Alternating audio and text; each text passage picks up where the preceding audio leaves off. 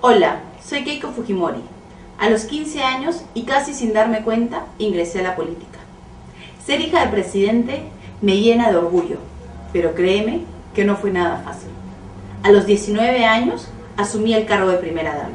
A esa edad, mi vida cambió para siempre. Me hizo madurar de golpe y me permitió conocer nuestra realidad.